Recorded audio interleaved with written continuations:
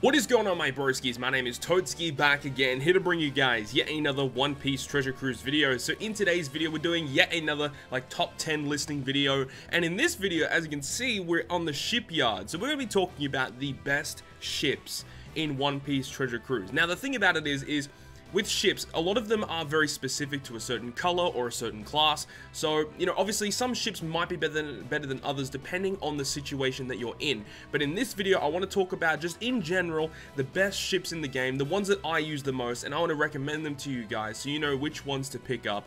And of course, we'll talk about how to get each of these ships uh, throughout this video. So, I guess without further ado, let's get into it. Well, I, sh I should probably also mention that we're not talking about event ships either because the event ships during their event period is always is like the best ship to run. But okay, putting that aside though, let's go ahead and get into it. So the first ship that I'm going to suggest for my number 10 position is going to be a ship that you actually cannot get anymore. And that is true, you cannot get this ship anymore. It was previously available in older version of, of, Treasure Cruise, where if you completed certain missions on story mode, you would get this ship from the Baratie uh, in the story mode missions. So this ship is really good. So it is a, uh, it's actually Don Krieg's ship, and it says that it boosts your HP by 1.5, and you deal 5,000 typeless damage to all enemies at the end of the turn. Now, of course, it doesn't give you any attack boost, which is typically not a good thing for a ship. You want to make sure you have an attack boost in some fashion. Um, but the main reason why this is good is because if there is enemies with resilience, you can use this ship to just bypass it, which means you don't need to bring anyone on your crew to bring like poison, resilience remover, end of turn damage. You don't need that on your crew. You just run this ship and you can fly through content. I don't really use this ship that often, but I definitely wanted to put it on my list because there have been a lot of situations where this ship is actually really useful. It's really nice to have this ship, but it's definitely not one you're going to be using that often. Um, and some people might think this is weird to put this on my top 10 list, but you know, I'm just putting it out there that I'm not really going to be putting too many specific class and color ships, unless if they're really, really powerful, because like a lot of the ones from the forest, yeah, they're really nice to have, but I wanted to talk about this one specifically because it is a pretty decent ship overall. Um, so the next one, we're going to move on to number 9, is going to be all the way near the end, and this is going to be the Flying Dutchman. So the Flying Dutchman was available in the Rayleigh's Bazaar. You have to spend 5,000 Rayleigh points, I think it was, or 7,500 Rayleigh points, something like that, to get this ship. Now, when this ship came out, it was so goddamn good. So it boosts your cruise attack by 1.5 times, which is quite typical, and also boosts your pirate EXP by 1.5 times. That was the main reason why this ship is so good. The fact that you can get just free additional EXP whenever you run this ship against content is so good. Of course, there's going to be another ship on this list that is just a better version of this ship, but I definitely wanted to put it on the list because you want to make sure you have it if you don't have the other ship. Um, also should note that it does have a special ability ship which uh, does reduce the defense of all enemies by 25%. This is actually quite key because some specific teams actually use this ship just for the special ability in order to proc defense down conditional boost, which is really nice to have. Um, I remember a lot of people would go ahead back in the day and use the Dex Rare Cavendish, which is a defense down 1.75 conditional booster. He doesn't self proc, but if you run this ship, you're able to proc that conditional boost, which is very nice to have. So this is my number 9 ship. The next ship that I have on my list, my number 8 position, is the Coated Thousand Sunny. This ship definitely saved a lot of people back in the day. It's a regular 1.5 times attack boosting ship, nothing special there, but its special ability is why it is so useful. So it allows you to halve damage taken for one turn. Uh, this is really nice in case if enemy do have like death damage hits. Of course, halving the damage won't help you a lot of the time, but it can be quite useful to have. So being able to just halve all damage taken for one turn was the main reason why some teams back in the day were able to clear content. And if you don't have this ship, well, you're able to get it from story mode, which is quite good. And of course, you do have to spend cola to max it out, but it is definitely worth it um, to have that just added effect to reduce damage is always really nice. So now moving on to number 7, it's going to be the Merry Go. Now the reason why I have the Merry Go here is because it recently got an update on Global. If you guys didn't see, the original Merry Go got a brand new update, and so it has a new effect where it is still going to go ahead and boost your captain's HP by 300, which doesn't matter, uh, 1.5 times regular attack, and then has an added effect, makes it easier to land your perfect strikes. So I think this is a pretty useful ship to have, especially if you're utilizing characters that have to make sure they hit their perfects. Uh, characters like chain multiplier boosters, like like V2 Mihawk, V2 Sanji, uh, V2 Akainu is really good. You want to make sure you're hitting your perfects with him. And there's only this ship that he can use, and also the uh, Capone ship. Those two ships are the only two ships that Akainu can use that actually make it easier to hit your perfects.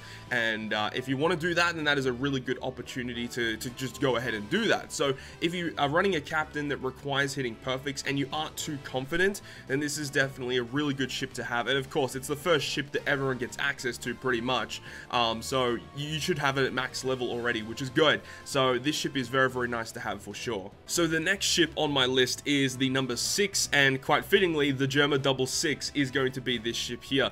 Now, this ship is very, very strong. However, the amount of teams that are able to utilize this ship is quite minimal. So in order to really understand what it does, so basically what it does is, is you need to have one of every color on your team. So strength, dex, quick, psy, int, you need to have one of all of those colors on your crew to make sure that this ship is active. But when it is active, you get special cooldown reduction by two turns at the start of the quest, which is phenomenal. Two turn cooldown reduction is crazy.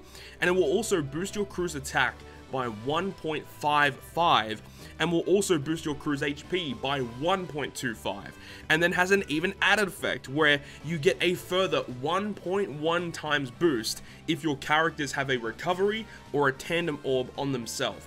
So this ship is like crazy in terms of the effects that you can get for your team. The cooldown reduction is probably one of the best parts about it, but again, just a ship that's able to get that type of multiplier, which is kind of absurd. I actually forgot what the multiplier is. Let me pull up my calculator real quick.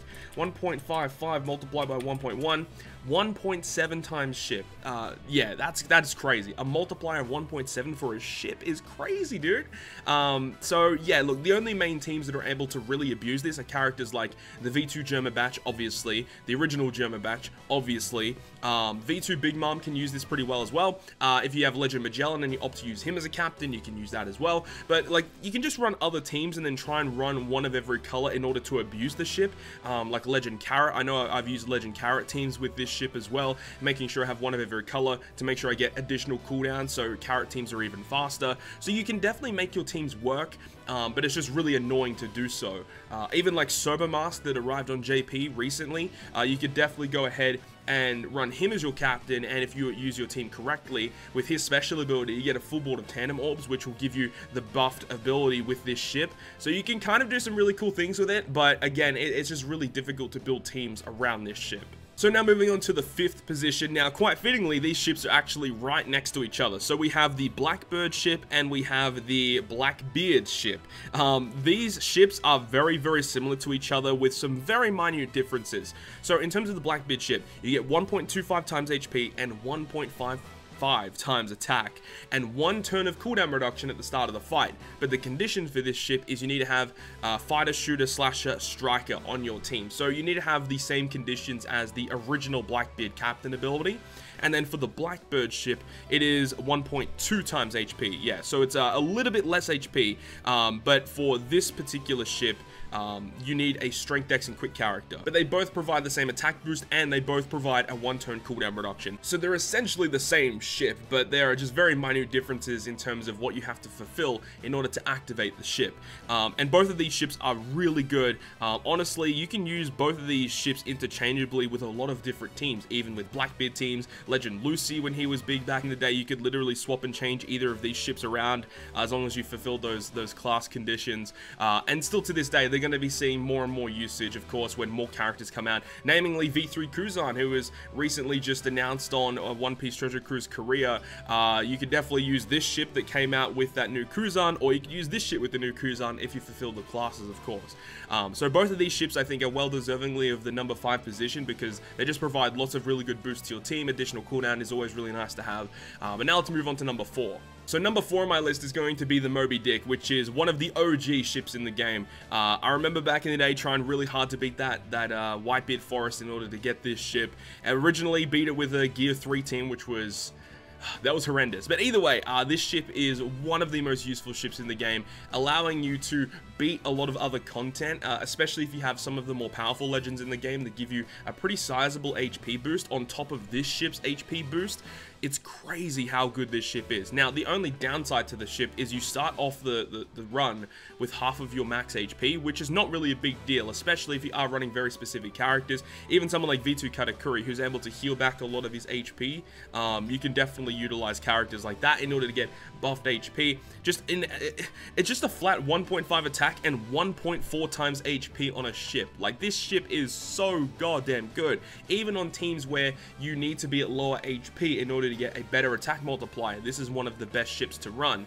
Um, so this ship has helped me so much, just going through so much content. Uh, there's literally not much else to say. It's just one of the most useful ships to have for clearing more difficult content because that additional HP pool is very, very useful. The number three position is going to be Megalo. Now, Megalo, honestly, I've kind of been underrating this ship for a while. This ship is crazy, crazy good. Um, so in order to get this ship, again, it's, an, it's another unlockable ship like the Germa Double Six ship. Uh, you have to spend 30 gems, which is quite steep for a ship, but you do get additional rewards with that. But this ship, man, is is really good. And of course, you can't use it with every team. You do have to run very specific captains in order to get this ship to activate, but man, the ship is good. So let's talk about it. So your captain needs to be either Psy or Int. Now, there are plenty of different teams that could you know, utilize this ship. Whitebeard Marco, Shirahoshi Mansherry, Halloween Ace, which will be coming later on down the line, uh, Legend Capone, uh, V2 Akainu, any sort of team that utilizes a Psy or an Int Oh, V2 Katakuri. I used this with V2 Katakuri recently as well. So there's so many different teams that you can utilize this ship with. So if you do have an a Psy or Int Captain, you get 1.25 times health. You also get 1.5 times attack. 200 additional recovery is added to your captain, and it reduces damage taken by 10%. Just a free 10% damage reduction effect on a ship is phenomenal, and it does have an added special 8 turn cooldown, mind you, locks your orbs for 1 turn. So again, just uh, all of these effects are really nice to have. The fact that you can lock your orbs, like say you get a bunch of recovery orbs and you want to save that for following turns in case if you're going to be taking a lot of damage, you can do that. Or if you're about to burst and you have some matching slots and you want to keep them, you can lock your orbs, you can do that. There's lots of different situations where locking orbs is going to be very nice to have. And the fact that you can also get the 10% damage reduction, you get a little bit of recovery out of it as well. Like there's lots of cool things happening here and I love this ship so much. And that's why I would probably put it in uh, in this position right here. My number two ship in the game goes to Zunisha. Again, another unlockable ship. What can I say about Zunisha? This ship is just crazy. I remember when this first got revealed, everyone was wondering like, is that translation wrong? That can't be right. That's like literally too good for a ship. Uh, I remember when this came out, man, everyone was losing their minds. So this ship is solely focused on Powerhouse and Cerebral characters. So if you're running a Powerhouse or a Cerebral team, this is the best ship to run. Hands down, bar none. So what it does is it gives those classes 1.55 times attack and 1.25 times health. Also makes recovery and tandem orbs beneficial to those classes. So just free free two orbs beneficial, man, is nuts. And also we'll go ahead and make perfects easier to hit. Well, it says much easier to hit. And when it says much easier, it, it truly means that. Like, the, the, the skill it takes to, to hit perfects with Zunisha is so minimal. And the thing is, is if you use Zunisha over and over and over and over again, it, it gets to a point where when you don't use Zunisha, you literally struggle to hit your perfects because you get so used to the way you hit perfects with the Zunisha ship. So like, honestly, if you're running a Cerebral Powerhouse team, you have to run this ship. There, ha there have been other circumstances when you're running a Powerhouse team. Sometimes you want the extra recovery and you run the Rocket Man ship, but in like 99% of cases, you're going to be using the Zunisha ship. It's just one of the most useful ships in the entire game, and if you don't have it, I highly suggest to go ahead and purchase it in the unlockable quest whenever it's available. And of course, my number one position, it goes without saying that the host ship, in my personal opinion, is the most useful ship in the entire game. So if you guys don't know what this ship does, or even how to get it, again, it is another unlockable ship, and surprise, surprise, the ones you have to spend your rainbow gems on are the best ships in the game, but it is what it is. Um, so the host ship will reduce your special charge time by one turn at the start of the fight. You also get 1.5 times attack, which is good, and also 1.75 times EXP. So as we mentioned before with the flying Flying Dutchman being an EXP ship. This is just a straight upgrade to that ship. Now, of course, the Dutchman can do things that this ship can't do, the fact that it's a defense down special ability. This ship does have a special ability as well, which provides a 3500 HP heal for the following two turns. There have been circumstances where this ship having the healing mechanic has saved me a lot of the time. So uh, there's so many good things going on here, and the fact that it is a rainbow 1.5 attack with additional cooldown, literally if you can run the host ship to clear the content, like if you don't need the extra damage reduction, if you don't need the extra HP, then you're running the ship. You are running the ship to get that extra pirate EXP. That's literally like it is. It is what it is. Like that's that's the way that it works. That's the law of the land. You have to use this ship if you are clearing content. Um, and if you're using someone like Legend Carrot, which predominantly relies on speed clearing, this again is one of the most useful ships to have. Even on the treasure map Smoker that's active right now on Global, the thing is, is the three times EXP ship is currently active. And again, that is one of the best ships to run right now. But one of my special cooldowns on one of my teams will not be ready by the time I need it on the boss stage if I just don't stall. So in order to get around that, I'm going to use the host ship to make sure that it is ready so I don't have to stall. So literally I'm putting the three times EXP ship aside to make sure I can clear content without having to stall and that's very very important for clearing content faster and uh, for that reason alone I think this is 100% the ship you have to purchase. If there is one unlockable ship you have to buy it's definitely this one, and it is definitely one that I would suggest you guys pick up. But there we go, that's the rundown of all of my favorite ships in the game, the one that I would suggest to you guys. So hopefully you guys enjoyed this video today, and if you guys did, make sure to leave a like, and if you want to stay up to date with all the content that I post, including more One Piece Treasure Cruise content, make sure to hit the subscribe button down below. But than that guys, I'll see you guys within the next video.